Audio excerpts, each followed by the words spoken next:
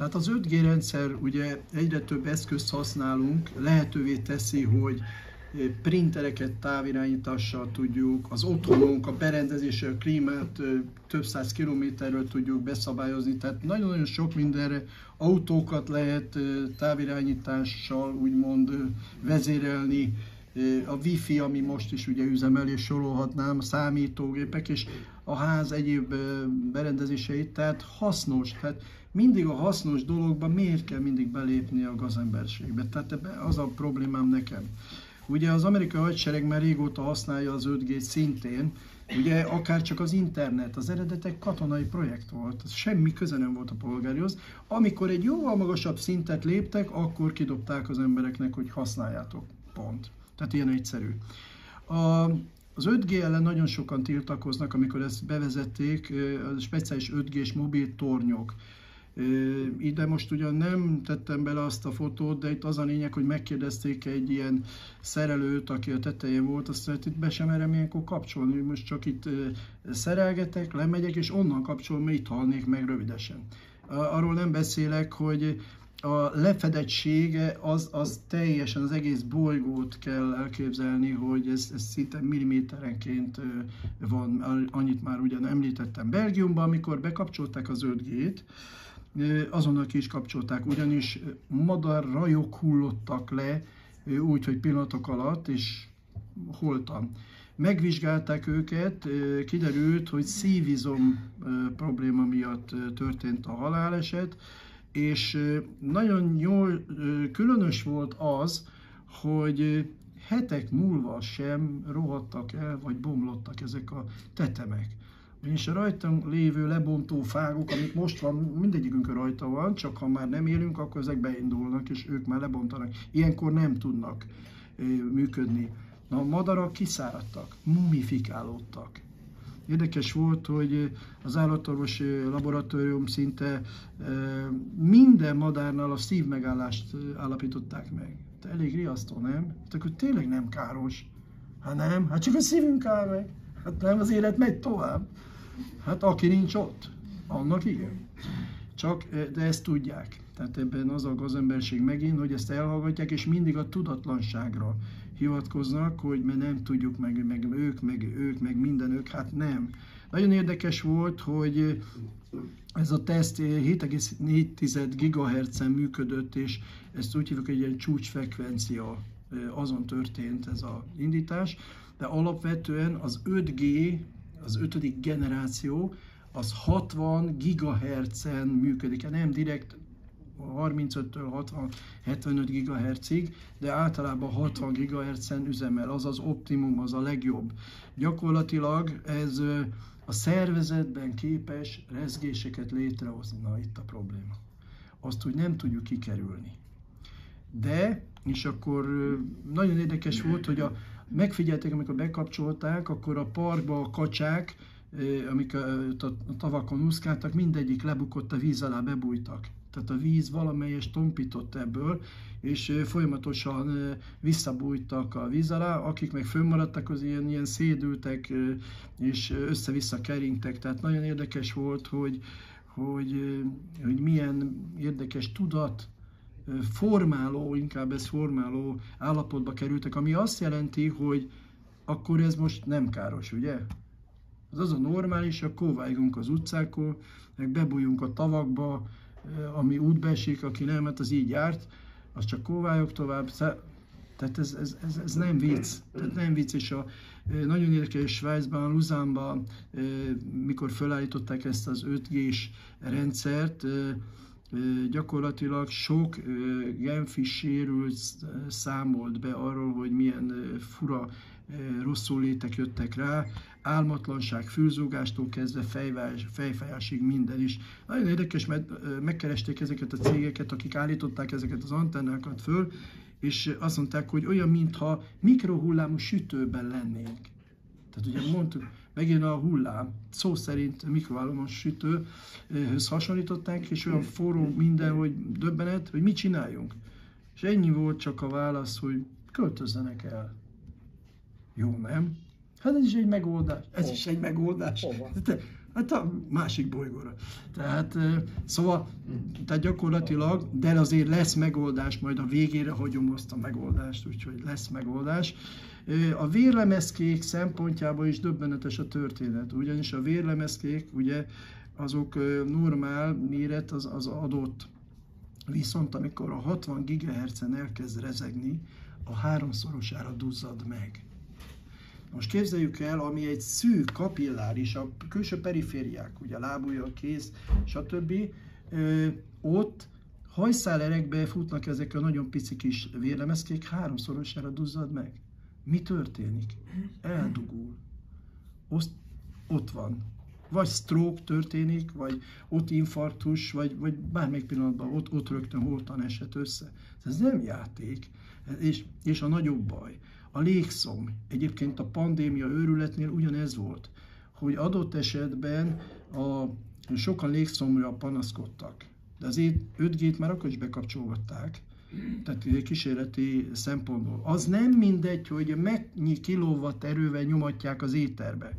Magyarország ennyiből talán kedvező helyzetben van relatíve, mert hogy kisebb teljesítményűeket kell, mert nem nagy az ország, tehát a lefedettség sokkal kisebb teljesítmény mellett is megoldható, ezért nem ugyanolyan erejű a hatása. De ahol nagy országrészek vannak, ott, hogy mindenhova eljusson, ott nagyon nagy kemény kilovatokkal kell megtolni, és ott viszont, mint lásd, ugye Genf nem azért, mert ugye óriás, mert egy pici kis ország, de, Svájc, de, de valójában ott először nem tudták, hogy milyen is ilyen nagyobb teljesítményeket dobtak be, hát azért jött létre ez, ami meséltem a madarakról. Na most a, az a baj, hogy az oxigén molekula 60 GHz-et, ha rányomjuk, akkor elkezd pattogni. Na most nem, nem, tud meg, nem tud megtapadni, a kötés nem jön létre, a vasmolekula és az oxigén, tehát a, az oxigén háztartás csak némelyik tud rátapadni a vérre, ezért durván egyharmadára csökken le az az oxigén mennyiség, amit eredetileg a szervezet normál fel tud venni. Logikus, hogyha én egyharmaddal kevesebb oxigént kapok, akkor logikus, hogy fulladni fogok mert nincs elég. Olyan, mint a föln a hegyekbe a, a cserpák, amikor ugye fölmennek ugye a hegyekre, ők simán fölmennek, mert ő nekik teljesen más a, a, a keringési rendszerük. Ők a légritka oxigén mellett ugyanolyan fizikai munkát tudnak végezni, mi meg meghalnánk.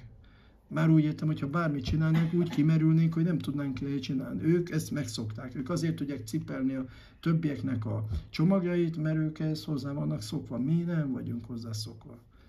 Tehát az 5G, 5. generáció, az nem 5 GHz-en, hanem 60 GHz-en. Tehát ezt ketté kell választani. Nem egyenlő a kettő. És ez az, amit mondtam, hogy az oxigén az viszont 60 GHz-en pattog, a vérlemezke meg nem tudja csípni, mert pattog. Tehát nem, egy, nem mint eddig hozzámegy, és rögtön létrejön a kötés, és akkor szállítja a sejt különböző, a test különböző részeihez az oxigént. Nem tudja szállítani, mert nem, nem tudja elcsípni minden oxigén molekulát. Ergo fulladni fog az illető. Hát persze. Az 5G hálózat ugye gyakorlatilag egy, áll, egy elektromágneses sugárzás valójában, és ennek vannak úgymond élettani hatásai.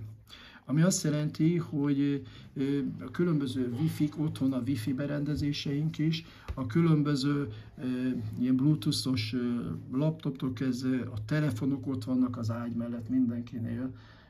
Tehát ezek mind-mind-mind károsan bombázzák az agyat, folyamatosan terelik, rezonáltatják, ezek rezgések, ez, ez nem játék, tehát ez ez, ez nem is kérdés, és különös az, hogy hőhatás érzékelhető, hiszen a molekulák elkezdenek súródni egymást a rezgéstől, és az hőhatás. Ugye a kezünket is elkezdjük dörzsölni, ez ezt így kell elképzelni, az is meleg. Ez önmagában a sejteket rezegteti, ahol megint súródnak egymásra, ergo elkezd olyan fura hőhullámok jönnek rájuk, stb. Tehát ez, ez ilyen értelemben nem, nem jó megoldás.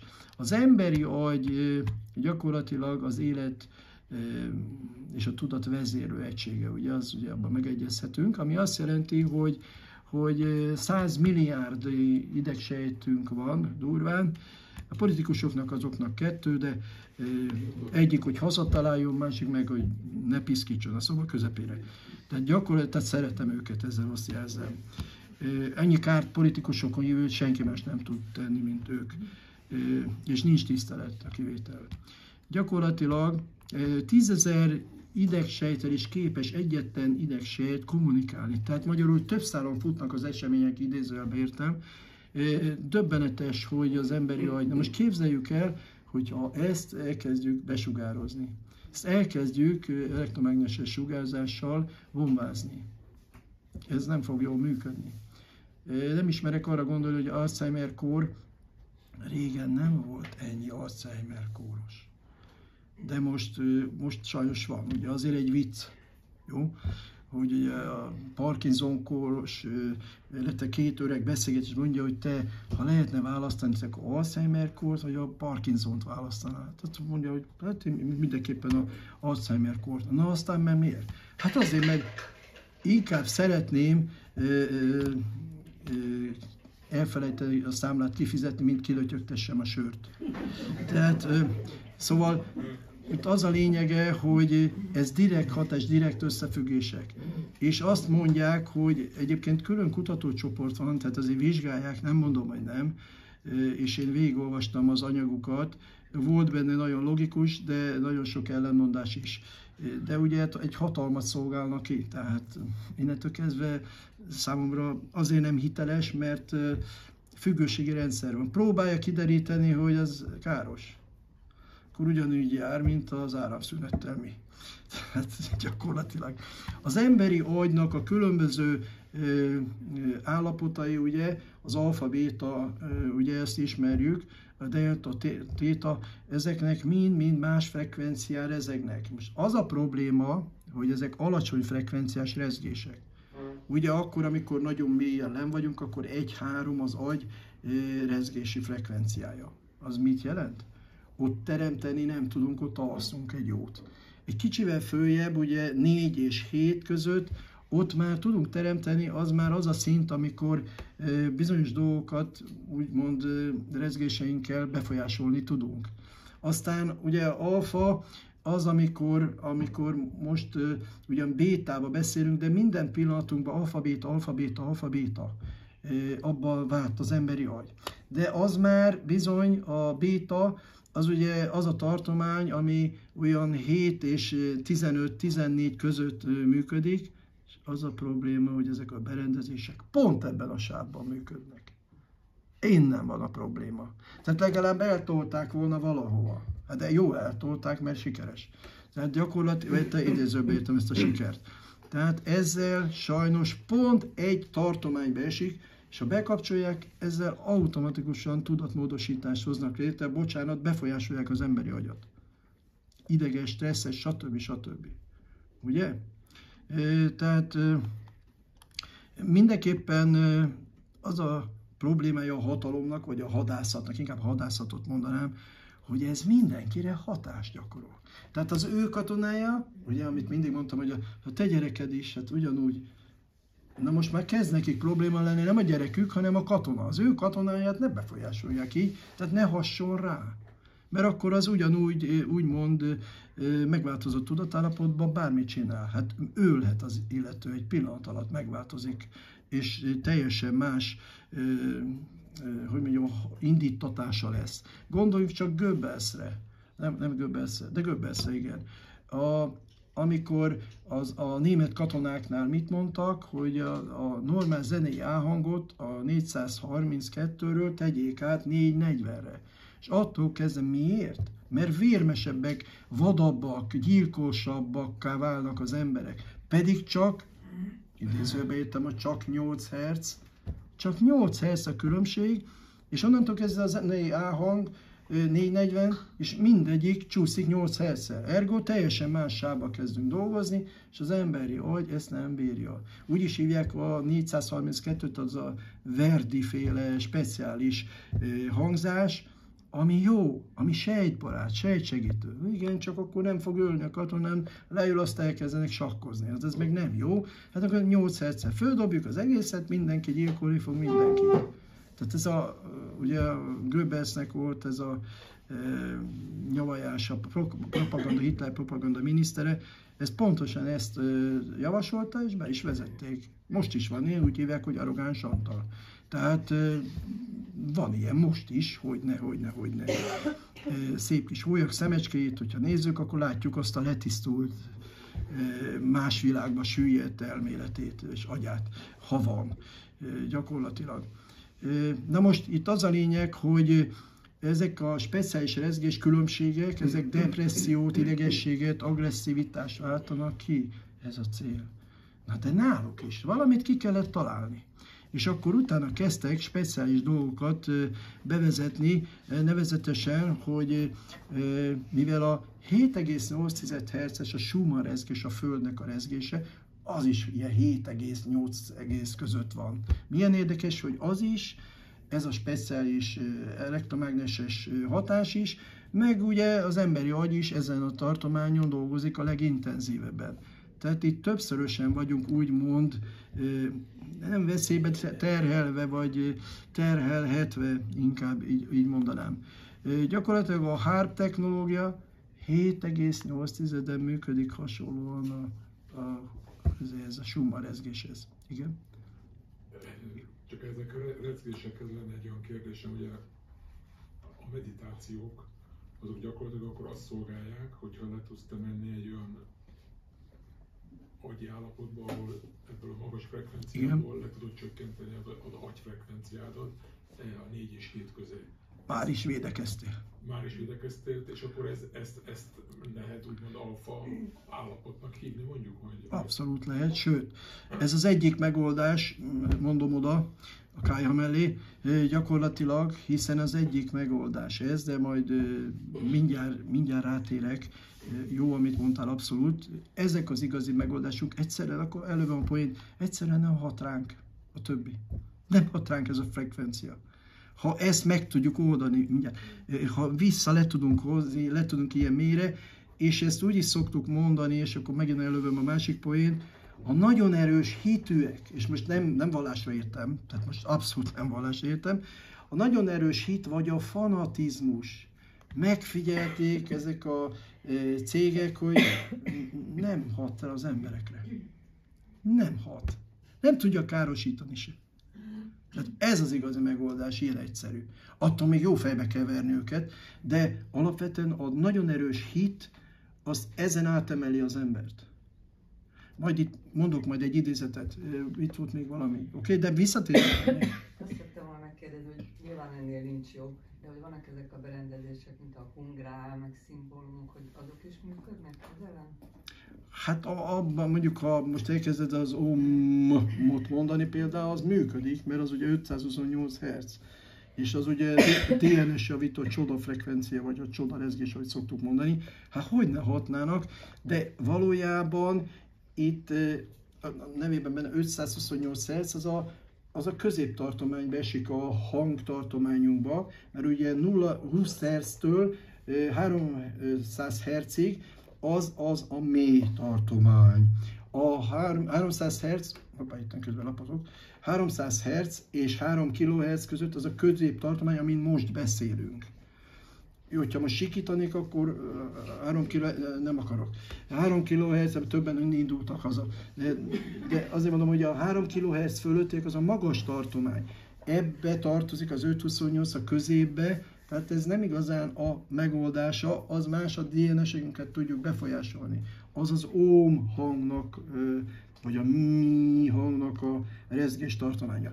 Ez viszont lejjebb van, és itt most az agyról van, nem a hangtani frekvenciákról beszélünk, az agynak a alapfrekvencia rezgéséről beszélek, ez más.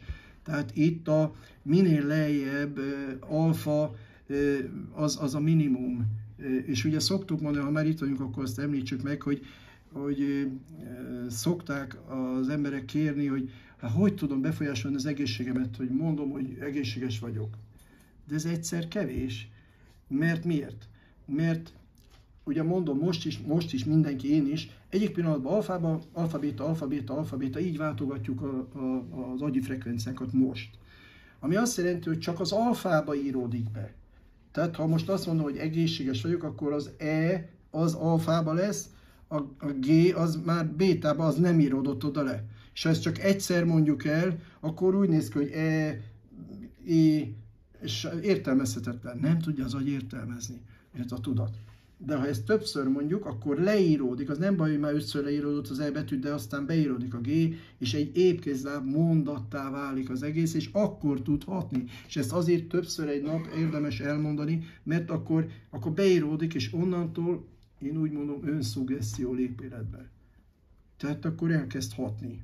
Az emberi agy alapvetően meg hát ugye eleve egy csoda, hiszen ő nem tud a valós és a nem valós dolgok között különbséget tenni. Magyarul, ha valamit levizualizálsz, és mondjuk azt, hogy tükör előtt nézed magad, és akkor egy egészséges vagyok, és utána már nem kell a tükör, csak az addig még ezt a képet kialakítja az ember magába, és elkezdi mondani, hogy egészséges vagyok, egészséges vagyok, egészséges, és látod magad egészségesnek, hófehér fényjel föltöltve meg, ennek vannak technikái, most itt nem akarok ide annyira belefolyni, de, de gyönyörűen működik, és gyönyörűen hat.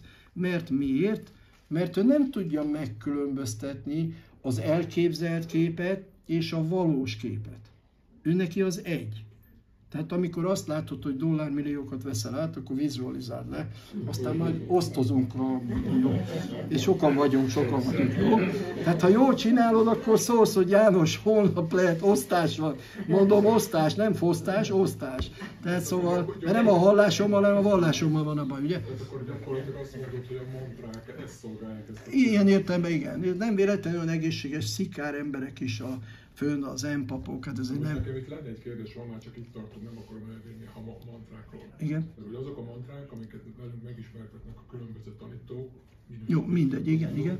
Azok nem magyar nyelven szoktak általában. Hát igen, ez, ez mondjuk igen, mert hogy ö, hát majd megint egy nagy témába kéne belefogni. Szíves, azért- szívesen, Éreztem, csak hogy, hogy de nagyon szívesen. Akkor ezért nem jó a, hogy hívják a gri, gro, garaboly? Garaboly? Így is lehet mondani, csak itt semmi értelme. Csak az a probléma, igen, így is lehet mondani, tudom, csak semmi értelme. Ez a Grabovoj, oké. Okay. Milyen moly? Ja, Grabovoj. Eh, Gyakorlatilag az a baj, hogy minden néptörzs az anyanyelvén megszerzett rezgések vezérlik a saját DNS-ét. Tehát nekem ő hiába írja, hogy agyin, vád, vád, vád, tiri, stitiri, stb. Az nekem nem az a frekvencia, én nem úgy mondom azt a szót ki, ezért nem így hat. Ez egy megtévesztés. Az, hogy megnézik, hogy a, az agyin az milyen frekvencián rezeg, és akkor megkeresik a magyarba, lehet, hogy péklapát lesz az a szó, nem, nem, mert ugye egyszerű, csak, csak érthető, amit mondok? Tehát azt fogja azt a frekit, akkor neki azt kell mondani, hogy péklapát, Jóska bácsi, Juliska néni, esernyő, és akkor jön neki ugyanaz a rezgés, ami viszont már befolyásolja az ő DNS-ét, de ahhoz az anyanyelven tudunk csak gyógyítani. Tehát ez, ez, ez, ezért nem igaz. És az senki nem vette arra a fáradtságot, hogy ott a egy Grabovoi mondta az 1, 1, 5, 4, 3, 9, 9, 6, az nem ugyanaz, mert az oroszul tök más rezgéseket mond el.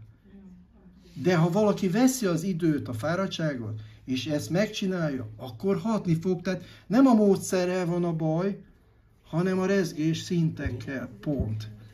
És ez a probléma. Igazad van. Tehát az anyanyelv, még egyszer az ember az saját anyanyelvén képes egyedül úgy hatni az egészségére. Más nyelven nem tud hatni az egészségére, mert nem az a rezgés tartomány, az a szó, ami neki az asztal, az nálunk teljesen más lesz.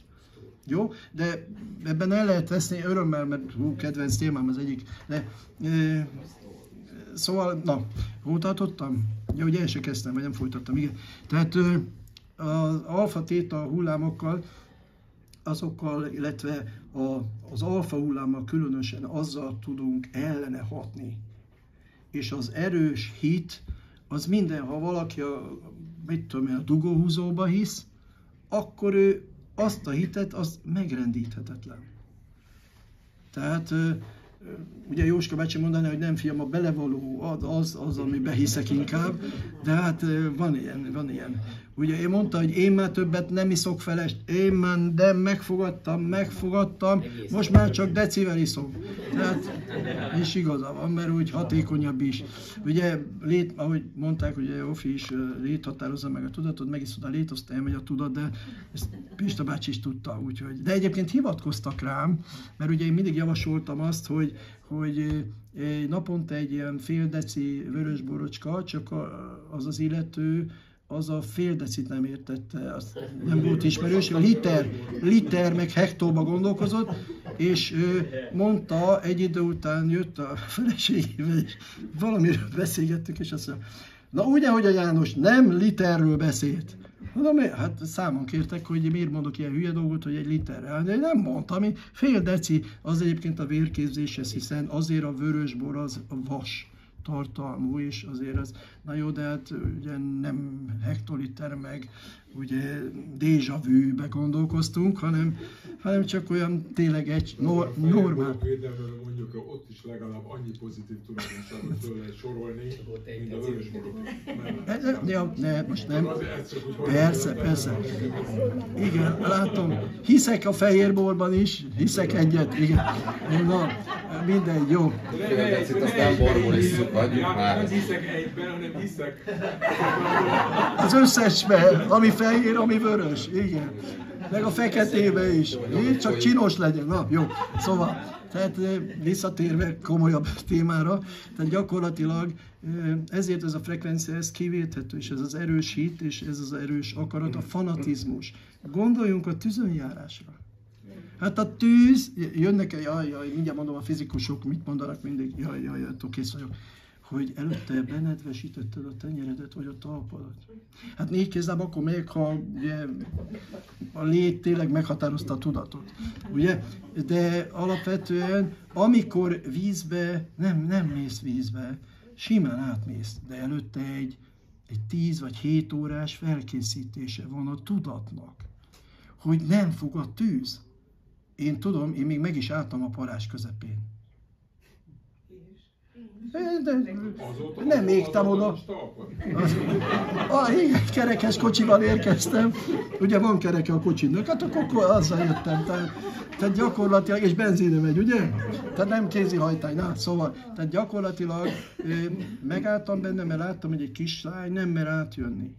És úgy gondoltam, hogy azért ez egy elég erős impulzus lesz neki, hogy hogy ha én ott abban megállok, hát akkor elkezd gondolkodni, várja, hát ha János ott áll benned, akkor, akkor ez tényleg nem éget. És utána mondtam, jössz csillagom? És akkor oda mentem, visszamentem érte, persze végig a tűzön, és akkor így végigjöttünk. Egyetlen egy pöttyön nem égetett meg a tűz. Egyébként, ha meg megéget, az meg megint a gyógyításnak nem, mert hogy az a szervedre, ott moxa kezelést kaptál, nem tudom máshogy mondani. Mert hogy azt, azt kaptad, és azért, de az hamarabb begyógyul, az nem holyagosodik fel, csak égési egy kicsit, de az direkt inger hatás lesz arra a szervre, és gyógyulsz. Én egyébként egyszer tervezem, hogy mit szólnátok majd, hogyha csinálnánk egy tűzönjárást, jó? Itt a kell. Ja, azt mondja, ezt a házat. Ne, ne, nem, ne, ne, nem így gondolt. Nem így gondoltam. Nem így gondoltam, és akkor majd tudod, mennyi tűzön, tűzről pattany menecske lesz? Egyébként ott megint a tudat is, megint a hit a ereje, a fanatizmus, hogy te azt elhiszed, hogy nem fog a tűz. Azt mondják a fizikusok, mert persze, hogy egy ilyen pára, vízpára réteg lesz a talp alatt, és azért. De mikor benne állok, akkor már csak kiszárad a talpam alatt. Nem? Mert hogyha végig szalad valaki, el, el tudom képzelni. De, de amikor megállsz benne, de és visszamész a tűzön. Tulajdonképpen ez tudati feladat azt megoldani. Na de ezt akartam mondani, hogy így lehet hatni ezek ellen a rezgések ellen, hogy annyira erős az akaratod, éghető hát most elmondanám egy parázs, egy cigaretta tüze az mennyi? 5-600 fok. Ami ott van, az 900 fok. Hát 900 fok a felkészülés, felkészülés nélkül, itt a kulcs szó, tedd bele, úgy megéget, mint a rosszabb. De ha felkészítik a tudat... Slő világos. Slő világos. Felkészek, erős hittel akartuk. Na, tessék, ugye, hogy működik. Eh, Tehát gyakorlatilag pontosan ez a lényeg ennek az egésznek, hogy eh, tehát felvértezed magad egyébként, aki részt vett már, igen? Csak egy mondat még ehhez, mert úgy, hogy jobban egy kicsit értsük. Tehát rosszul többször itt nem, rövid lesz.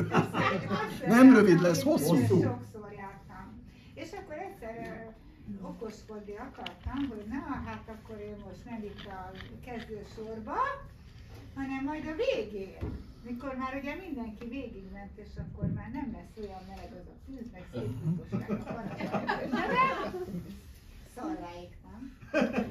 Amikor úgy volt, hogy semmi gond, mentem az első között, semmi nem történt. Antikoxidáns lettél. Tehát, tehát gyakorlatilag tényleg a tudati hozzáállás rengeteget számít. Fel kell készíteni. Egyébként ott különböző módszerek vannak, az egy egész napos, meg még egy, hogy mielőtt ez történik, azelőtt egy két-három nappal erős fűszerek és kaját ne egyen az ember. E, Te nem is vége, de akkor odakozz már itt ott. De, ilyen nincs, ilyen nap. Na de, de, de, de amikor tudatosan, meg almát kell lenni sokat, ugye, ö, Az jól gyakorlatilag. ég, vagy? Tessék? Az jól ég az alma, vagy? Serceg, serceg! Te ettél már égetett almát? Tudod milyen finom?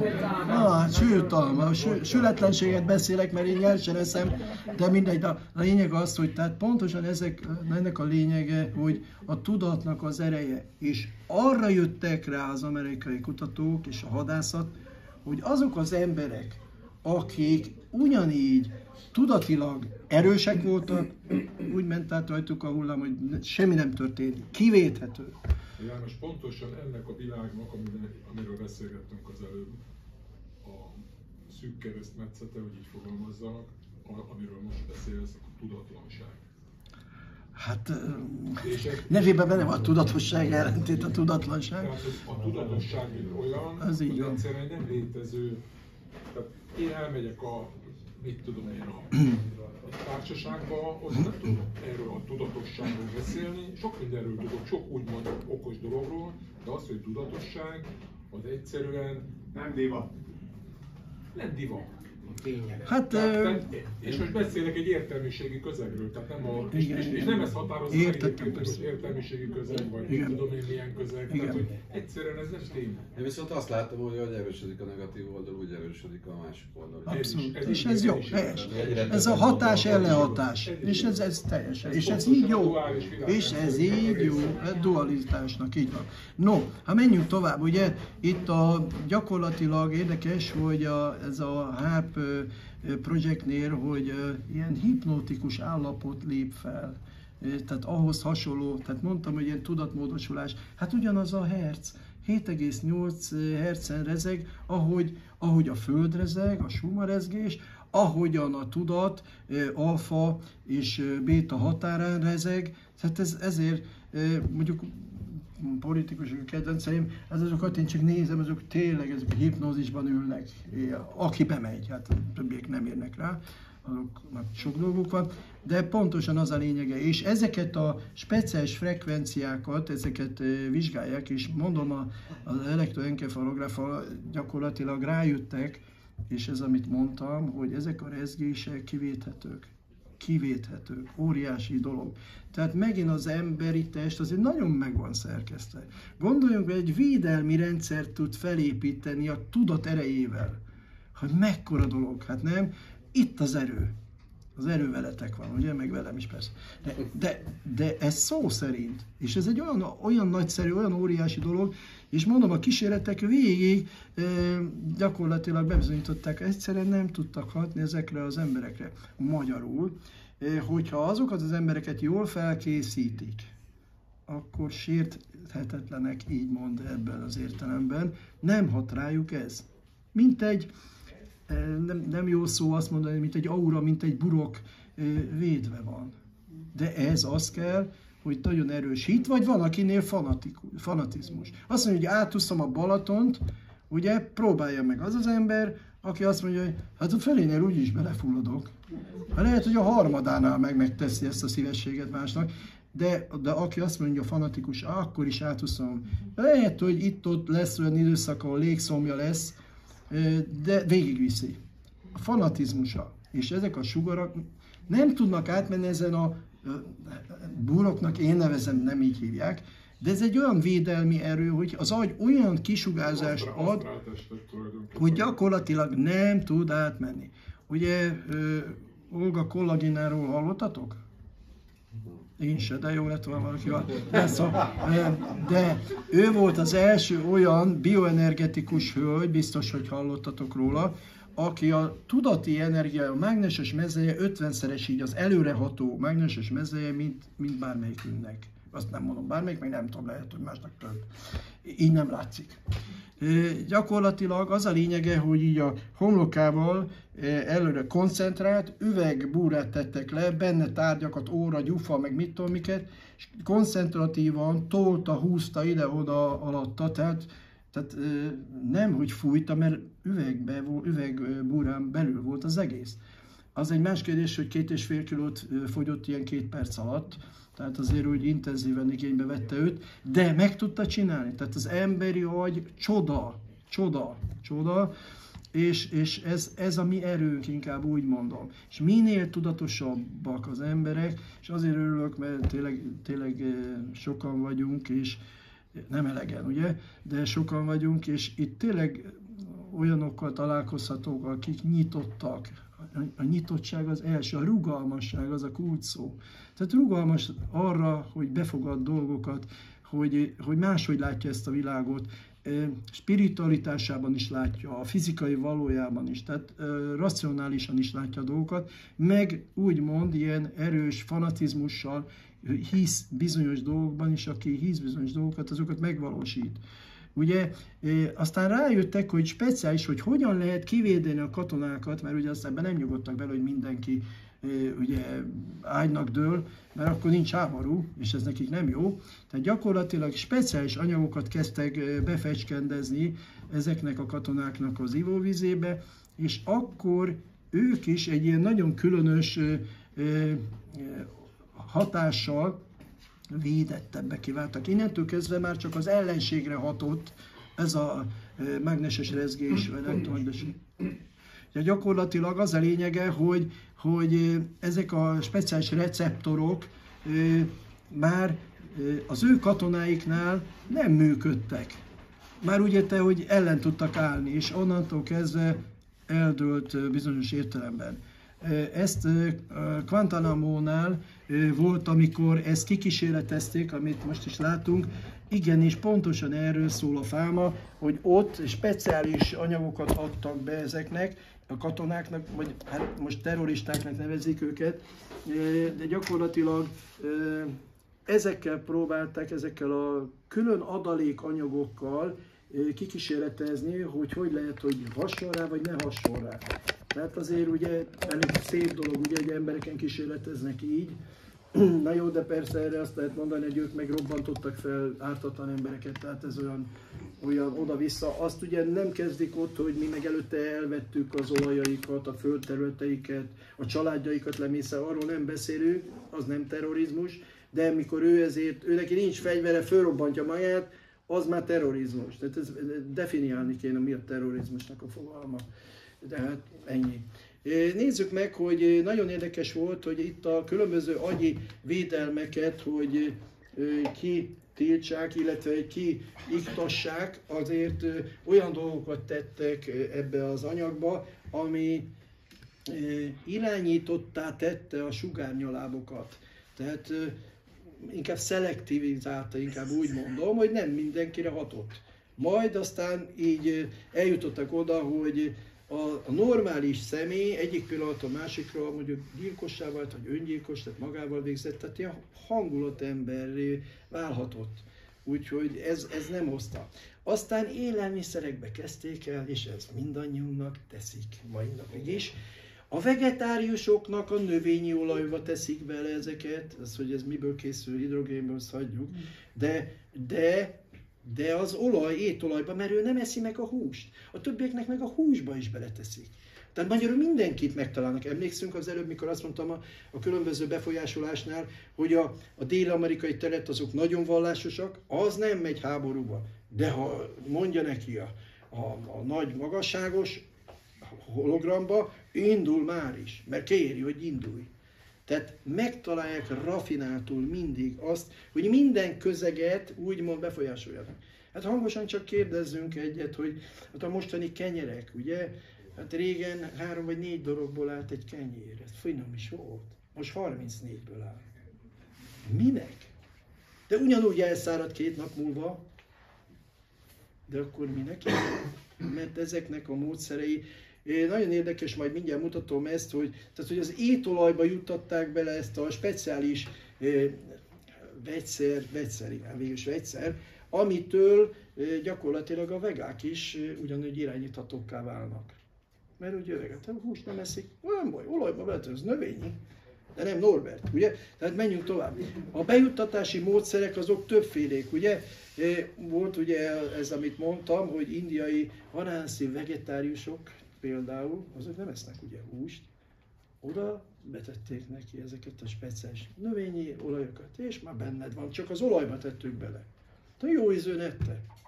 Hát aztán így eljutottak a célszemélyhez, illetve a célterületeket csak megtalálták. Aztán nagyon érdekes, hogy mire használták, mihez kell.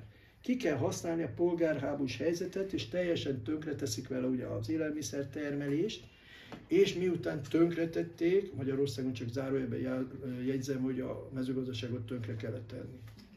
Mi agráripari ország voltunk. Most már csak agár ország vagyunk vagy Egérország. Tehát gyakorlatilag mi történt? Tönkretették a mezőgazdaságukat azoknak a célországoknak, és utána felajánlották, hogy adok én neked olajat, búzát, mindent adok neked. Hát azért. Gondoljunk az ukrán gabonára. A magyar gabona az nekünk nem jó, nekünk ukrán kell. Hát egy kicsit nincs sikertartalma, meg úgy egyébként. Egyébként is kicsit sugárkezelt, de a röntgenképet simán mindenkiről az utcán le lehet készíteni utána. Tehát ez, ez nem víz mondjuk. Tehát aztán ezt követően pedig megkezdik az élelmiszer szállítmányokat, és akkor széthordják neki. Erre jó példa, ugye, hogy a kísérletekben, ez az, amit mondtam, hogy a fanatizmus és az, a tudati hit, az olyan erős, hogy mérték és nem is elkezdték a sugárzás dózisát emelni, mert, mert nem hatott rájuk. Tehát nem hatott rájuk. Ezért kell direkt módon bejuttatni élelmiszeren keresztül. És akkor nézzük meg, hogy, hogy itt a, például a liszt volt a hordozója, ugye ebben ezen a területen, a dél-koreai területeknél tönkretették a gazdaságot, majd utána elkezdték a, hát nem a csermeit, vagy a gyermeit, búzát, hanem a lisztet, hanem lisztet ajánlott fel Amerika, amiben már benne volt az az, az anyag, ami ez befolyás, tudati befolyásolást idéz elő. Magyarul, és akkor azt mondták, hiszen kiszivárgott ez a szituáció, hogy aha, ezen keresztül, jó, Kínától rendeltek rist. És azt mondták, köszike, nem kell. Sőt, Kínától hitelre, tehát amit ki is kell fizetni. Ezek meg ingyen adták volna a lisztet, tehát hogy ne adták volna? Hát akkor elérik a céljukat. Kísérleti országokon próbálják ki ezeket. Ugye Dél-Korea nem akkora gyakorlatilag, eh, hogy itt ne lehessen ezt megcsinálni. Tehát eh, gyakorlatilag Kínától vette inkább pénzért, de nem engedte meg, hogy a megmanipulált, én így nevezem, lisztet megkapja. És azok az országok, ahol cunamikat idéznek elő, ahol hatalmas területeket ott szór, szórják ingyen a kaját, nem? Nem tűnt fel? Hát de rendesek. Azelőtt miért nem adtad? Akkor is korgott a gyomruk. Ja, hogy most, ja, hogy most célod is van. Ja, hogy, aha. Hát persze, pont ez a lényege. Befolyásolni a mezőgazdaságot, az éghajlatot, hit, ugye, kicsit próbálom összefoglalni ugye az eddigieket, Pontosan ez volt a cél, olyan széles spektrumba, hogy nem veszi észre az ember, hogy hol szalad bele a csőbe. És ugye arról most nem beszélek, nagyon sok gabonaféle, vagy búza, vagy különböző lisztekbe, inkább úgy mondom, ott van benne már a, a kitin, ott van már a rovarok, be vannak darálva. Például nagyon érdekes volt, Lézer János most hallottam, hogy fel van háborodva, azon, hogy a mi narancsunk, narancslénk az sápadt. És más országokban meg nem sápadt. Hát most vagy megijesztették, azért sápadt bele, de és akkor most mondom a legfrissebbet, erről nem nagyon tudnak, hogy a narancslék, azok a sápadtarcú narancslék, azokba azt szokták csinálni, hogy rákot ledarálják, porítják, és azt keverik bele, mert nagyon színező anyagú. Én nem tudom, hogy evett már valaki ilyen tarisznyarákot, én ettem. A páncélját nem, mert az akkor ugye igen, nagy bonyodalmak lettek volna. Ö, gyakorlatilag föl dori, bedarálják, kiszárítják, bedarálják, és belekeverik, mert ettől színesebb lesz. Ettől sárgább lesz a narancsné. Úgyhogy javaslom Lézer Jánosnak, hogy egy kis rákot rendeljen, taliszrákot, porítsa, aztán bele, jó nagy színe lesz, olyan szép narancssárga lesz a, a narancssárga. Egyébként nem tudom a narancstól milyen citromsárgát vártunk, vagy de mindegy, jó. Az 5G által kibocsátott sugárzások. Ugye, mivel ezek speciális frekvenciák, és ö, 10 és 100 MHz közöttiek tartományában vannak a, a rádiófrekvenciások. Ugyanakkor a hőhatások ennek a járulékos dolgai nagyon-nagyon komoly fejfájásokat eredményez, aztán a, a szemre hat nagyon, úgyhogy a szürkályok képződésben aktívan részt vesznek ezek a dolgok, hiszen a szem nagyon érzékeny és elnyeri ezeket a speciális sugárzásokat, és védekezik ellene.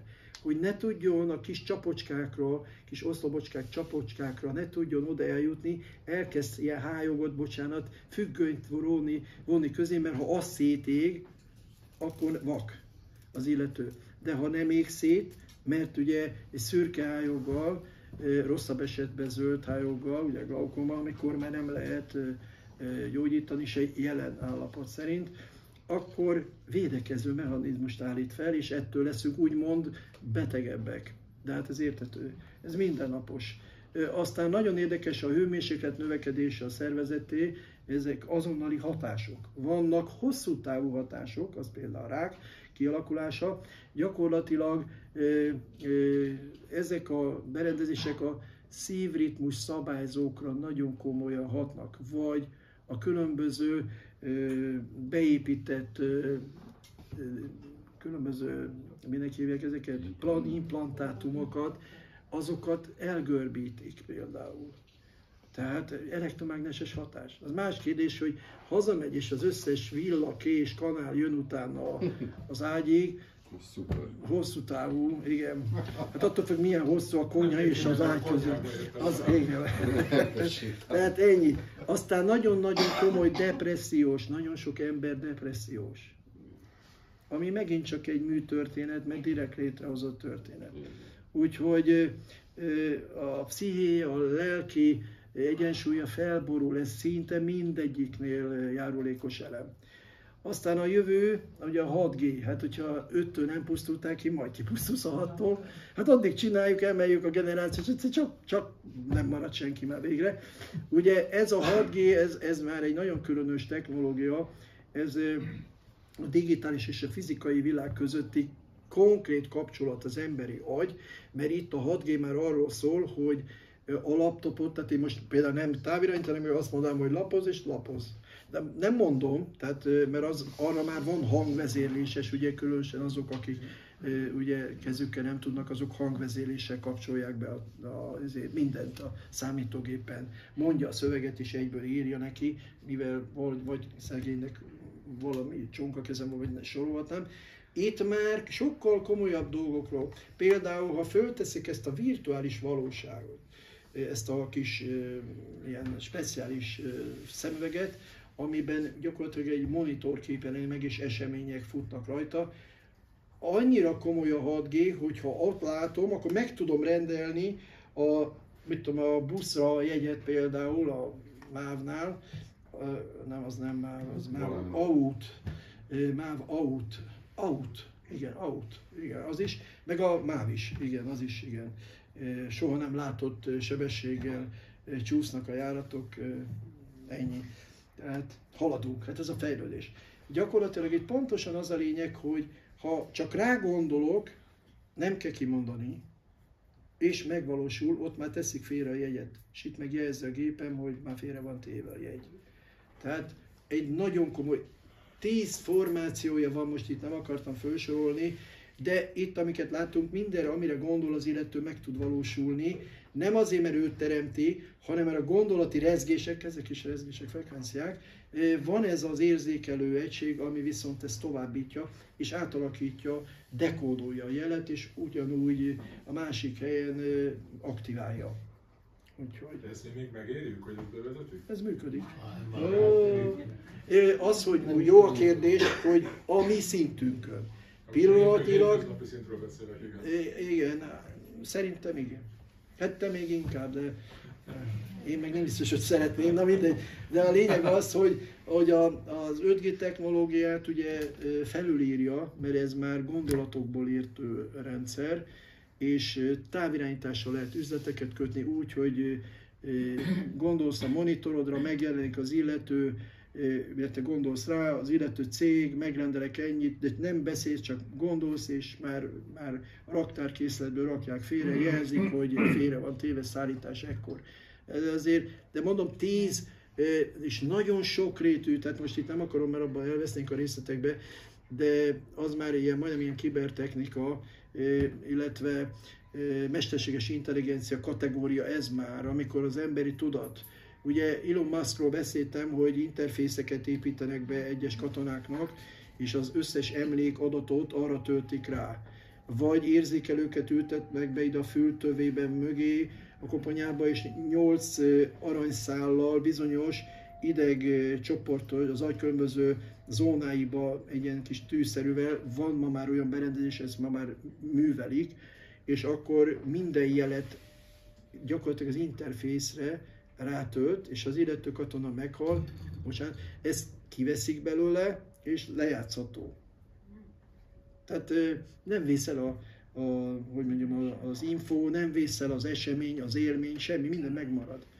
Tehát ez, ez, ez, ez, ez, ez, ez, ugye Elon Musk a Neuralink projektjük, amiről beszélek most, az ott az a cél, hogy hogy ezeket már így távirányítással a fejedbe fogadod az SMS-eket, az e-maileket ott küldöd, ott érzékeled, hogy megjött, elolvasod, tudatodban ott van benne. Tehát tudni fogod a szöveget, hogy mi jött üzenetbe. Hát azért ez már, na, ez is van már. Ez is van már. Sőt, és akkor most a ö, ö, több száz méteres számítógép termek, ahol gyűjtik az emberi agynak az összes információs halmazát, mindenféle kérdéseket tesznek fel, arra kell válaszolni, és mindig töltik föl, és minél több embertől szereznek információt. Magyarul az emberi agyat kívánják teljesen lemodellezni, de tehát ilyen számítógép termek, és milliárd villogó kis egység, ami ezt gyűjti és raktározza, és ennek megfelelően gondolkodik is, úgymond, vagy összegez, koncentrál. Nagyon komoly dolgok ezek. Ugye, tehát a 6G, mint mondtam, ezt iparágakban, üzemeket lehet vele úgy vezérelni, hogy gondolatta, hogy most álljon meg, már meg is állt. Tehát ki sem mondott. Tehát a kívülálló csak ott ül mellette, nem is írt, hogy megállt. Közben te itt leírod, hogy most leállítottam, most elindulhat, és csak nézel, hogy miért. Mi ennek a célja? Mert hogy azért itt gyakorlatilag a transhumanizmust létrehozni, ami azt jelenti, hogy fél ember, fél gép. Tehát tudati vezérlés. És ugyanakkor a biológiai test képes erre, ezeket a speciális hullámokat kisugározva, annak megfelelő vevőegységgel dekódolva, visszaalakítva a jelet, és működtetve vele bármit. Bármit. Úgyhogy a, a, a 6G-vel már ez az autó nem egyszerűen csak beütött, hogy hova menjen, hanem már be se ütött, hanem beülsz, és én a Jóskához akarok menni, és már indul is. De ki sem mondott, csak úgy ennyi. És már működik, már indul is. A fiamék Milton Keynesben élnek, és ott Angliában ez a terület, ez ahol ilyen kísérleti üzem van, ott készítették az első ilyen kis robotokat, sőt, amikor kint voltam, meg ha kint vagyok, akkor azon rendelnek kaját, mondjuk azt a, szá- a telefonjába beüti, hogy mit kér, és akkor egyszer csak jön egy kis zászló, hogy ekkora kis robot, ö, 8-10 kerékkel. Az zászló azért kell, hogy lássák, hogy tehát ott valami jön, tehát valami, vagy megy, vala, vagy, vagy megy valahova, tehát ugye, és akkor kihozza a kaját, ott ö, oda tartod a telefont, fölnyílik, kiveszed az árut, lenyomod, és már indul vissza. De erdő, mezőn keresztül, tehát ö, a cél. És ott ö, én láttam a, ö, írtam, akartam a város nevét mondani, Cornwall, ebben nem vagyok most biztos, eh, ahol a múzeumban ki is van állítva az az autó, ami mondjuk hát nem hasonlít egy autóra, az inkább egy olyan, mint egy régi, egy hintó, ahol lovak nincsenek, és akkor oda beülnek az emberek, oldal van ilyen kártya, lehúzol, lehúzod, beülsz, ott még beütött, hogy hova, és már indul is, és mikor végzed, megérkezel, kiszáll, kiszállsz, és akkor ö, gyakorlatilag megindul vissza a célállomásra, automatán beáll, és kész. Az most más kérdés, hogy a, a robotba kézerővel rakják bele, hogy két szóda, meg hat kenyéret, szóval persze. Ez mondjuk így van, de működik, tehát ott, ott a mindennapos, ott úgy jönnek ezek a kis robotgépek, hogy hihetetlen. És olyan szépen megvárja, ha valami közeledik, akkor megáll, nem megy le, és amikor elmegy minden tiszta a levegő, ugye akkor gyakorlatilag elindul. Ez innen jut eszembe egy vicc, mert ugye mindig van egy, szó, egy szóról eszembe jut a vicc, hogy, hogy a feleség meg a férj otthon vannak egy délutánon, és akkor egyszer csak csörög a telefon, fölkapja a, férj. Haló? Hm. A feleség nem szól. Be vagy háromszor fő, ezt, ezt mondja, ki volt az? Szóval nem tudom, valami időjárás felelős lehet, mert állandóan azt kérdezte, hogy tiszta már a levegő. tehát gyakorlatilag, de ott ezek a kis robotok, ez gyönyörűen profi műzi, és ott mindennapos, tehát ott így közlekednek. No, tehát egy új világ előtt állunk, nem egy sok, csak hát az a helyzet, hogy nézzük meg az átfedéset. A 4G, látjuk az az első kis ív, az csak ennyire hatott a, a térre. Az 5G az már egy sokkal nagyobb ívet fed át, ez az ország átfedettségét jelenti, vagy a területnek, és a 6G az meg már teljesen átfedi az egészet. De ezt az egész globuszt, majdnem azt mondom, hogy beburkolja, nem tudom máshogy mondani. Na most azt el tudjuk képzelni, ezek mind rezgések, ezek mind frekvenciák. El tudjuk képzelni, hogy ez nem hat ránk. Mi? Hát persze, hogy nem hat, ha azok mondják, akiknek érdekük, hogy ez meglegyen. De mi meg másik oldalról közelítjük meg saját, a gyerekeink, a család, a barátaink egészsége szempontjából, mi ezt teljesen máshogy közelítjük meg. Csak az a baj, és itt, itt mindig ezt sosem tudtam megérteni, hogy alapvetően milyen érdekes a világ, felnevelünk egy gyereket, elmegy egy titkos területre, és elvégez egy iskolát, szak, egyetemet vagy valamit, és átáll a rossz oldalra. Mert ez, az a hülye katona, az hülye volt ugye ahhoz, hogy ezt megcsinálja, de keresnek egy olyan szakembert, aki ehhez ért. És ez meg eladja a lelkét. De olyan egyszerű a válasz. Honnan kap fizetést? Ezt, a rossz oldalról. Hát Hát Máshonnan nem tud fizetni. Hát azért nem kap innen jó fizetést, hogy Mert át nincs. tudják ö, az csalni. oldalon nincs fizetés. Hát ez, hát, hát igen. Hogy is van, hogy a nyugdíjasoknak nyugdíj az ledolgozott időt jelent, ugyanakkor a, a fizetés vagy nyugdíja, viszont a, a, az egy szükségszerű következmény, abból meg megélni, az meg művészet. Hát jó, persze nem mindegyik, mert van olyan pilótabarátom, egy millió négyel dicsekszik nyugdíjként. Hát több, igen. Na, menjünk tovább. Tehát a 6G gyakorlatilag ö, annyiban osztódik meg, hogy itt, amit már mondtam is, hogy nem csak az ember-ember, hanem az ember-gép között is egy totális kommunikációt alakít ki. Ez, ez a lényege. Ugye, és hát ugye az automatizálásnak egyik jövője, mert hogy ezzel mindent tudunk irányítani, és ezzel, a, amit mondtam már, ez a virtuális szemüveggel pedig tudunk rendelni is bármit, kajától kezdve, bármit. És most jön a döbbenet. Ugye, hogy a 6G hálózat mindenhol jól működjön, kitalálták, hogy az emberek lennének a legjobb elektronok, vagy bocsánat, hírvivők, vagy információ, vagy rezgés továbbítók, tökéletes vevők legyünk mindannyian.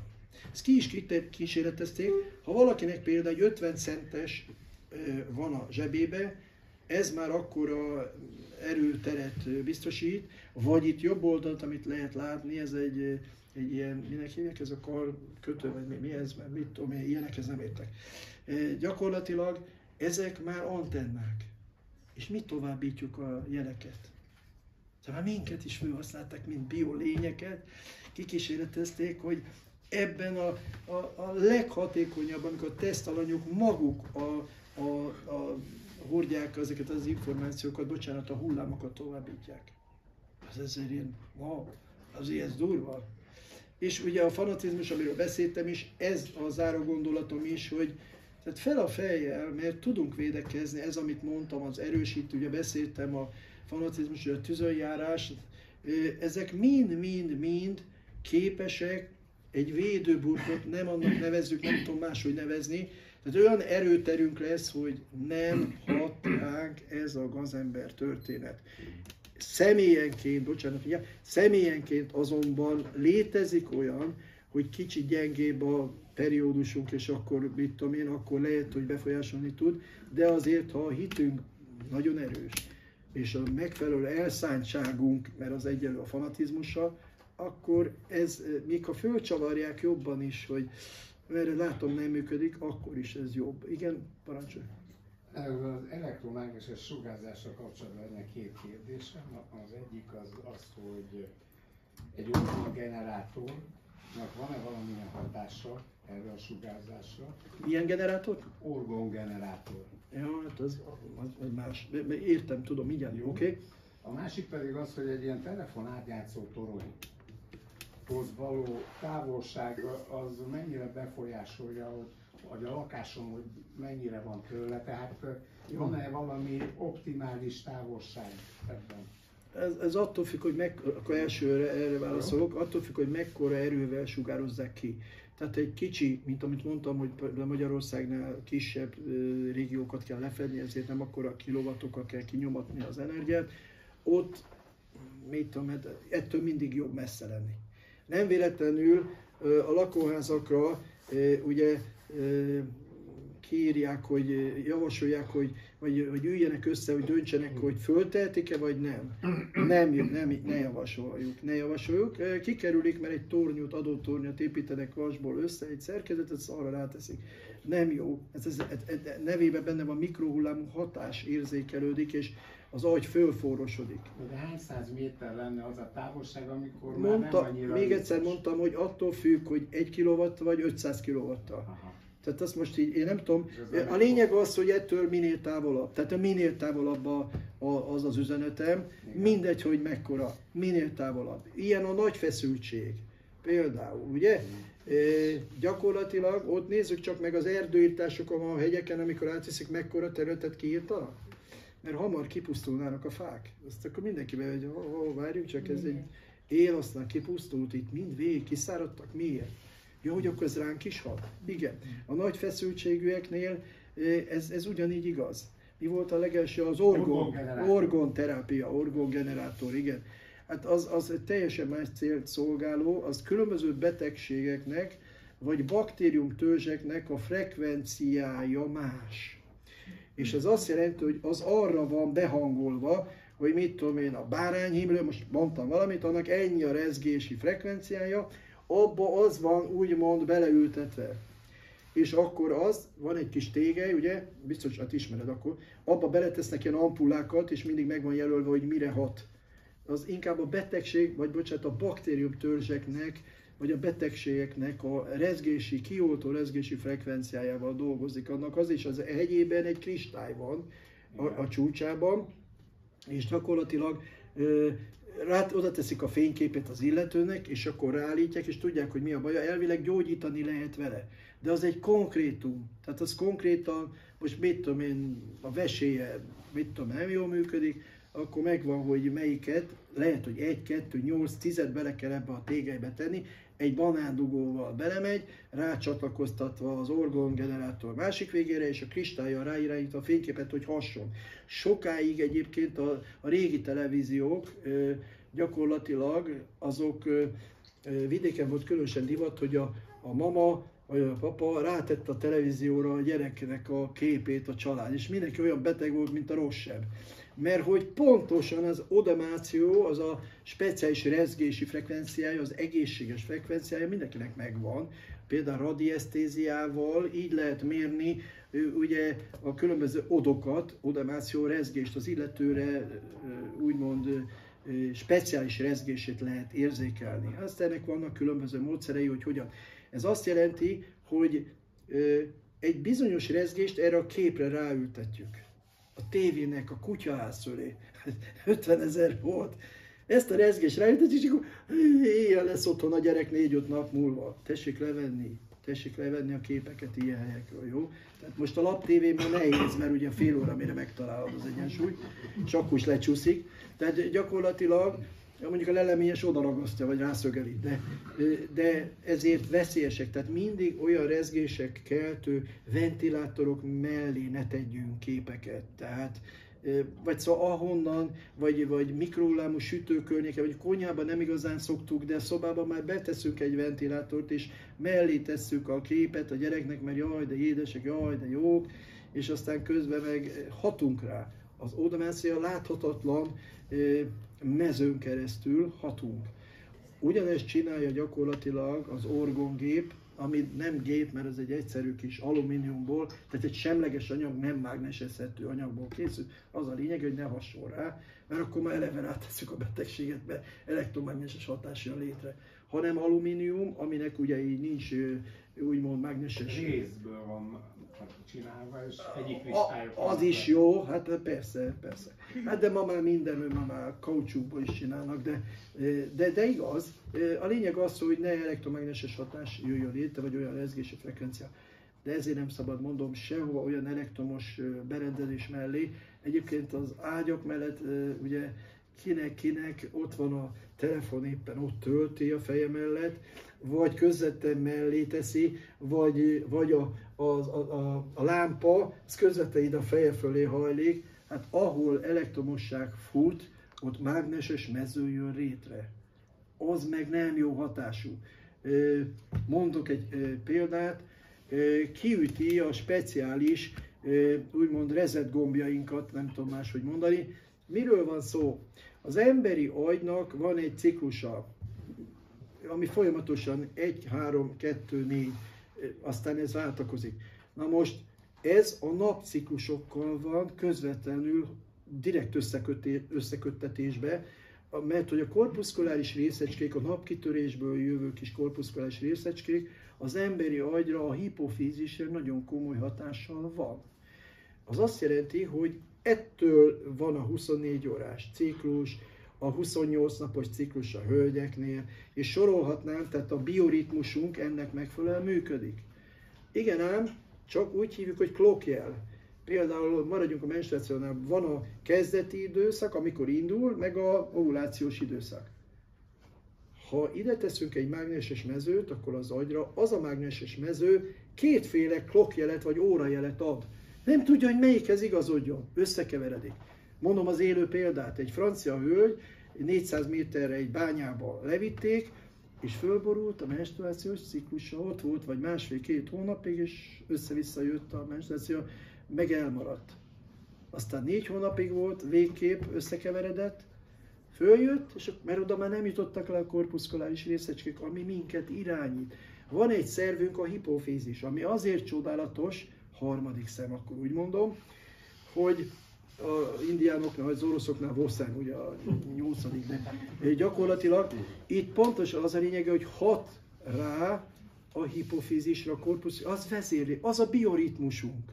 Amikor születünk, akkor is éppen vagy negatív és pozitív töltések halmaza éri el a Földet, és aki akkor születik, vagy bocsánat, akkor fogan, azért nem a születés, ez megint egy nagy téves történet, az éppen akkori pozitív és negatív töltések arányától függ, hogy ő milyen csillagképű lesz, úgymond.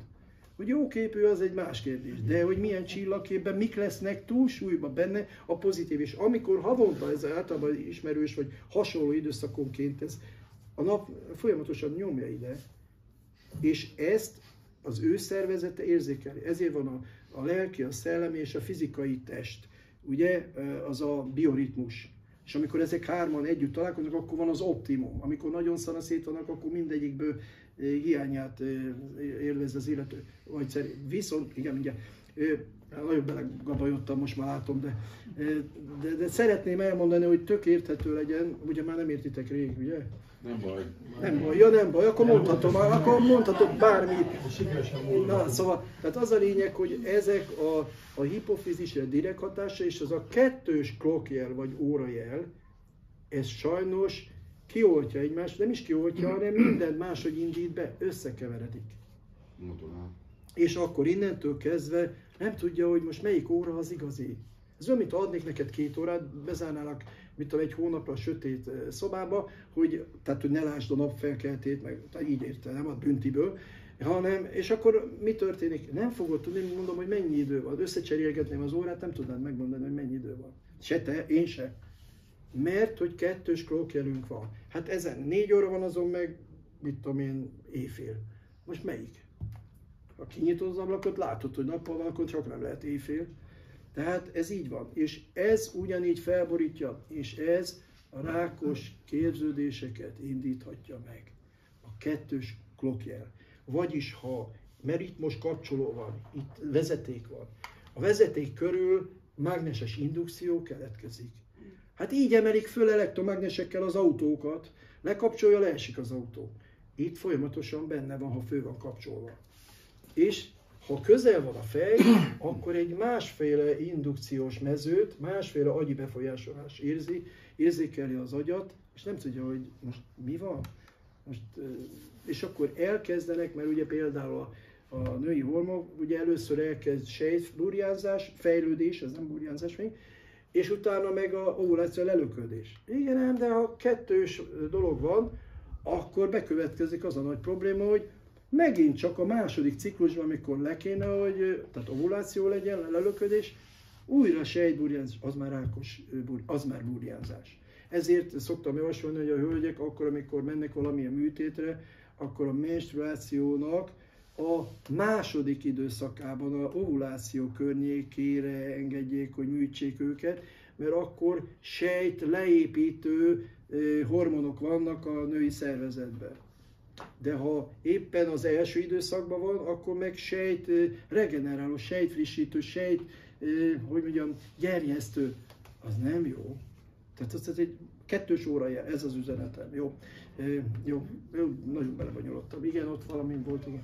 Azt hiszem, az a kérdésem, hogy mi a vélemény a mágia, ezeknek az okkult és a tudománynak, a technológiának kapcsolatáról. Tehát Mm, arra értem, hogy nagyon sok ősi civilizációk, mondjuk például a maják, az egyiptomiak, kínaiak, indiaiak, tibetiek, mind használtak ilyen okkult eljárásokat, technikákat, módszereket, ami az én véleményem szerint ezeknek a parafenomén képességeknek a tudatos alkalmazása, szóval, hogy mm, szerintem itt minden, mindannyian hiszünk ezekben a jelenségekben, hogy a szellemvilágokban hívják, tehát konkrét jeleket, mondjuk bolygóenergiákat hívnak be, és ezáltal tudják befolyásolni mondjuk itt a 3D-s valóságunkat. Hogy önnek mi a vélemény arról, hogy ugye, például földön kívülekkel is foglalkozik, és hogy hallottam sok fajhasználat, esetleg mágiát, és például, de vannak technológiát, azt mint a rimánák. És Akkor értesültem vagy nála, hogyha tudod azt. Tegeződjünk, jó, bocsánat.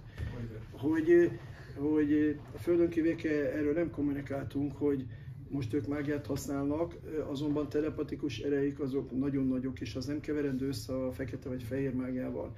Az, hogy léteznek ilyen kultikus módszerek, ez nem kérdés, tehát ez, ez ténykérdés.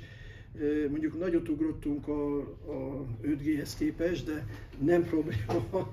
Csak itt az a lényeg, hogy tehát ez a vuduzás, meg ezek, ezek működő technikák, nem, nem annyira, hogy ott a, van a, valamelyik filmben a, a nem tudom, a Fridláda valamelyik részében, hogy ott szurkálja a gyerek, és akkor az ott ide kap, oda kap, hogy ennyire nem így, de meg lehet rontani bizonyos körülményeket, éteri befolyásolást lehet létrehozni, és az bizony hat, és akkor utána az illetőnek nem sikerül semmi.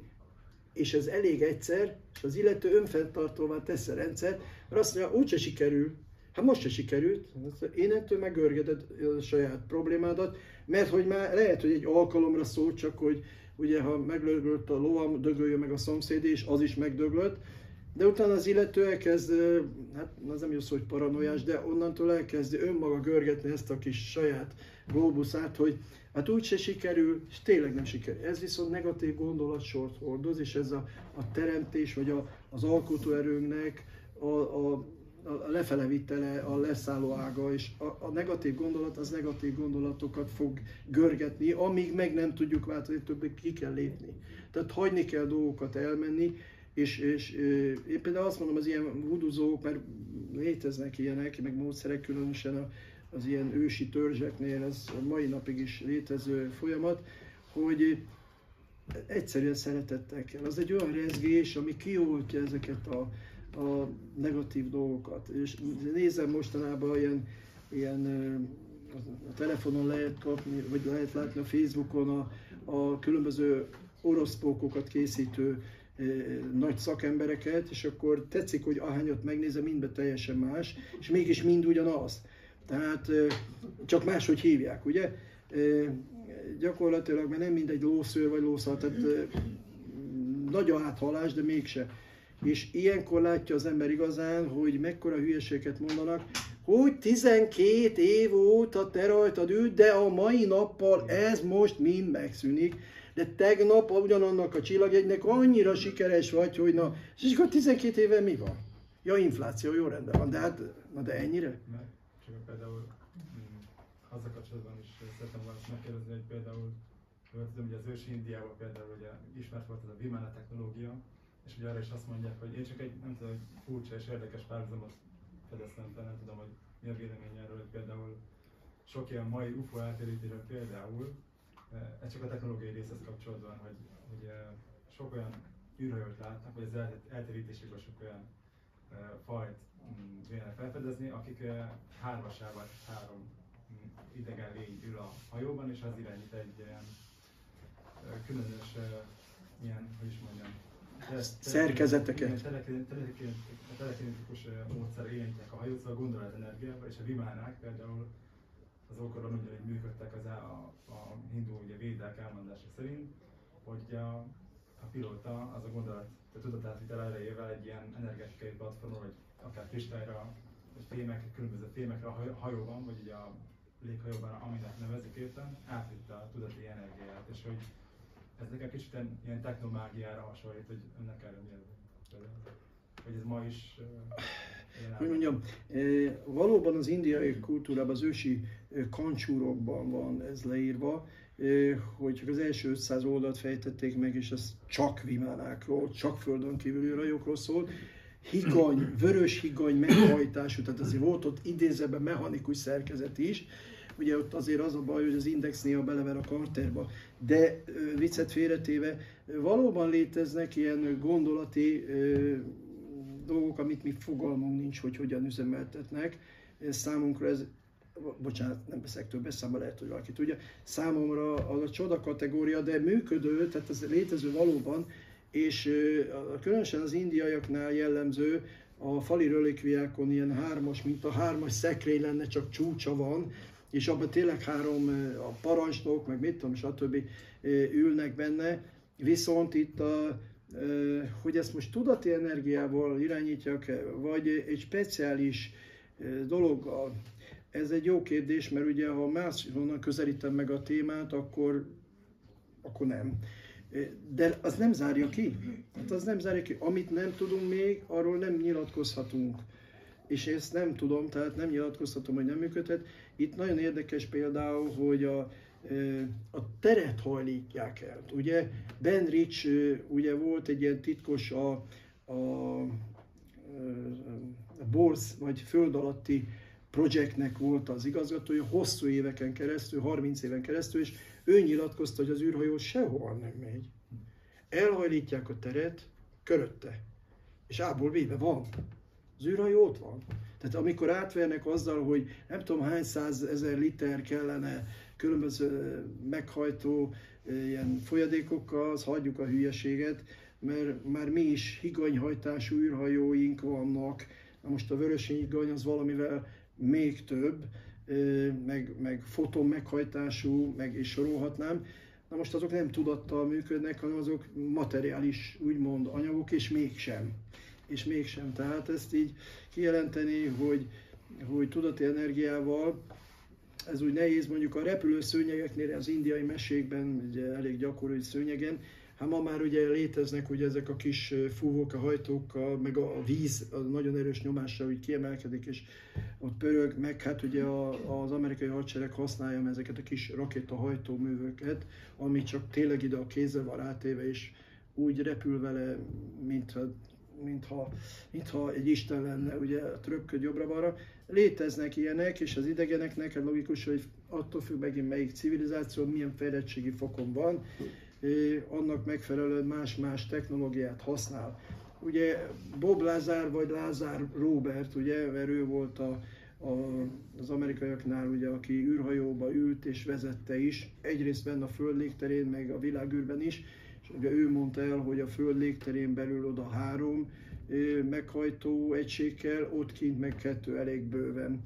És ő ezeket vezette, technológiailag is nagyon híres volt, nyilatkozott is sok mindenről, de ott megint csak arról beszélünk, hogy, hogy ott is materiális meghajtású volt ez, csak a szintje, az egy civilizációnak a fejlettségi szintjétől függ. Ugye gondoljunk csak arra, hogy régen ugye lovaskocsival mentünk ugye a piacra, ma meg már e-rollerrel, ugye? Tehát szóval tehát ez, ez a fejlettség az, az mindig, és mi, mennyit telt el, talán száz év sem telt el, a televízió ugye még nem száz éves, mert Marconi találta fel 1933-ban, és, és még nem írunk 33-at, és már tessék, hol tartunk. Már itt vannak a, a telefonjainkon a televíziók, és nem sorolom, TV szoba, vagy chat szoba, és most sorolhatnám, hogy miket tud, fényképez, filmez, és nem sorolom, óriási, és száz év nem telt el, például mondom, csak a tévénél, és ma már 3D-s televíziók vannak. Ami, ugye indultunk a fekete-fehérrel, ugye aztán a színes tévékkel. Egyébként a színes tévére azt gondoljuk, hogy ez egy olyan nagyon extra történet. Mit gondolunk, hogy hány százaléka kell a színkeveréshez, a színes tévékhez? Nem az, hogy mennyiből áll össze, hanem hogy hány százaléktól lesz az színes. 80 százalék a fekete félre most a legmodernebb tévéknél is, és 20 százalék csak a színkeverés. Tehát ő picike. Röhely, nem? Tehát azért mondom, hogy mekkorát léptünk, és akkor arról nem beszélek, hogy ma még az radiotechnika, elektrotechnikában még ma se ismerjük pontosan, hogy hogy működik az elektromosság. Ehhez képest milyen kütyüjeink vannak. Hát mi van, ha egyszer megismerjük? Ugye? Hát jó kérdés, nem? És ma se tudjuk. Nem tudjuk. Van egy hipotézis, amire felépült, úgy néz ki, hogy nagyon sok ponton illik is rá, tehát lehet, hogy eltaláltuk, de még se tudjuk kijelenteni, hogy már megfejtettük. Nem fejtettük meg. Csak egy hipotézisen alapult, jól, és, és úgy tűnik, hogy szinte minden része működik. De hogy tényleg így van, nem tudtuk mai napig bizonyítani. És ez a fejlődés, hát ez, ez ugrásszerűen fog most még. És ha az igaz, amit ugye a trombitás mondott, ugye ez a Trump, hogy, a Trump az trombita. Egyébként a Bibliában le van írva, hogy egy napon a végidőkben jön egy trombitás. Hojoj, hojoj, bizony. És ez a Trump, így van. Ugye a testvére az a Trump Lee, tehát ugye ez a kínai beütéssel enyhén, a másodat. Igen. De mondjuk nincs jóba a kínaiakkal, úgyhogy a Lee marad róla, marad a tank. De itt az a lényeg, hogy, hogy ő neki a birtokában van ugye körülbelül 5000 olyan találmány, amit ugyan Teslától ugye elloptak, azért legyünk őszinték, a nagybátyja nagyon leleményes volt, ellopta viszont ő azt mondta, hogy ha hatalomra jut, akkor másodszor, tehát most még egyszer, akkor napvilágra akarja hozni ezeket, de az olyan, hogy az emberiséget teljesen felforgatott technológiák, földön kívüli nagyon komoly szintű technológiák, amire külön képzéseket kell, mert mert képzeljük el 5000 olyan találmány, ami egyesével felforgatja a, a technikai világunkat, az életterünket és mindent. és gondoljunk bele, hogy akkor mi van a birtokukban. Amit egyébként nem akarnak, mert az ugye nem célszerű, hogyha okosodunk, maradjunk Le is lőtték. hülyék. Hát igen, most láttam egy leleményes izét, fotót, hogy egy ilyen golyó van ilyen ö, fül, fölfüggesztve, de az ember, mindegy. Tényleg a Sophocles, hogy ez sok valami csodálatos embernél nincs csodálatosabb, tehát olyan fülbevalót tettek ide neki, de nem tették, csak oda, oda rajzolták, na mindegy, ugye. De hát, tehát ötlet az ember az nem, nem, ezért, nem tudom, hogy kielégítő, vagy, vagy jó. Köszönöm, igen. Már Trumpnál járunk el, az. Ja? Akkor jó. Ha már itt ö, nál, vagy nála járunk, meg Mecsjárnál, tehát elképzelhető, hogy, hogy a kettőjük gyilkosait is ilyen, ilyen egyedi tudatmódosítással készítették fel? Hát az nem az egy külön, az a, a Ron Hubbard tárta föl ezeket, ezek a, ez a rózsabimbó effektus, ugye ismerjük, ugye az megvan, amikor a, Dianetika. hogy hívják, a Dianetika, igen, de ezre gondoltam, a Kalambó, ugye, amikor rózsabimbó, és akkor a Dobermanok erre fölvette, Mhm. és a kutyák meg jó hallással hallották, és arra voltak beütemezve, van ilyen, ugye a Ron Hubbard volt az, aki ebbe mélyebben belefolyt, egy, egy véletlen folytán lekerült egy ilyen, ilyen osztályra, ahol az hadászat és titkos volt, és ott végeztek ilyen szuggesztió, hipnózisos történet, mert ez erről szól, de ez nem az egyébként. De ott arról volt szó, hogy amikor általában olyan szavakat mondanak, olyanokkal tanítják be őket, amiket nem használunk holt nyelvekből, például szanszkritből, és azt a szanszkrit szót biztos, hogy nem fogják mondani, de ő arra van úgymond kihegyezve hipnózisba, és ha azt meghallja, akkor az a parancs mellé, hogy kezedbe adnak fegyvert, lelövöd ezt, utána másik szanszkrit szót mondom, kipattasz, és te döbbensz meg legjobban, ki? Hát ez kiöltem, hát ez te. Ah, ne ilyeskedj, de olyat látom, hogy itt van. Tehát igen, van ez a módszer, igen, de ő náluk nem, ilyen, nem ilyen magányos merénylők sem, nem. Ez ugye ők mind a ketten, azért legyünk őszinték, különösen Trump most belecsordogált néhány nappal ugye választási projektjében, hogy a pandémia őrületet napvilágra akarja hozni, külön vizsgáló bizottságot jelölt ki, ahogyan szintén a szlovák elnök is, és hát ugye, ugye ez nem jól kiderül, de jobb, ha ugye fűerő lesz, és fűbe harap. Tehát, és akkor ilyenkor ez az, hogy most így sikerült, az így jól sikerült, mert azért örülök, hogy akkor csak végig vissza a programját, és szépen a felelősséget egyébként Magyarországon kéne ezeket mind. Az egyik nagyon kedves barátom, kedden voltam a temetésén, három oltást vett, egy tök egészséges, erejterjében levő, szellemi frissességében levő valaki, két és fél év alatt úgy, hogy egy év múlva lebénult, és sorba jöttek stroke, két agyműtét, és szegény most temettük kedden. Én nagyon haragszom, és én követelem, hogy két dolgot követelek az élettől. Az egyik az, hogy aki háborúzni szeretne, az azonnal egy gépre ráültetni és kivinni Ukrajnába. Ott, ott, fiam, ott mutasd meg, hogy milyen ügyes vagy. Egy-egy golyót csak megfogsz, fogsz, nem? A másik, ami ne felejtsük el az áldozatainkat, a barátainkat, rokonainkat. Nagyon sokat ismerek, akik elmentek, fiatalok, fiatalon haltak meg, zsarolva, rákényszerítve vették fel ezt a szemét, gazemberséget, és most már ugye a japán elnök, illetve bocsánat, a japán egészségügyi miniszter konkrétan bejelentette, hogy ez egy tömeggyilkosság volt, és fejet hajtok, és bocsánatot kérek mindenkitől, és a felelősöket, igenis. Erre most uh, Müller cici, meg most elkezdi majd megint már terjeszteni a baromságot, hogy jön a következő, ez most már halálos, meg Itt még lehet kérni. Igen, igen, igen. Jó, de szóval, tehát magyarul ne feledkezzünk meg azokról a gyönyörű celebekről, akinek holdudvara, azokról a papokról, akik a híveiket rábeszélték. És most nem sorolom mindenütt, ahol egy holdudvar van, magyarul hatást gyakorol koncertet úgy kezdték néhányan, hogy ezzel kezdték, hogy vegye fel mindenki a vakcinát. Mert a vakcina hat. Tényleg. És hatott, igen. Tehát gyakorlatilag ezzel csak azt akartam mondani, hogy sose feledkezzünk meg, és a bűnösök hágában feleljenek érte. És ha kell az életükkel, mert hágában a genocidium, vagyis a népírtás a mai napig, a mai napig él. Nem szüntették meg ezt, a halálos ítéletet. Igen, igen. Szóval, nos, azt hiszem, hogy Ja nem, ja nem, hát azt még szeretném mondani, hogy a hit látja a láthatatlant, elhiszi a hihetetlent, és megkapja a lehetetlent. Na ez az igazi. Hát most az, hogy minek látja magát, ez egy más kérdés. De, de ha elhiszi, lehet, hogy oroszlánként vagy tigrisként fog küzdeni. Tehát a hitre mondtam ezt, ez a mi erőnk. Ezt ne felejtsük el. Ez a mi erőnk. Ez a mi igazi védekezésünk. Nagyon sekély ekély, mondanánk, de nem. Nagyon nagy erő.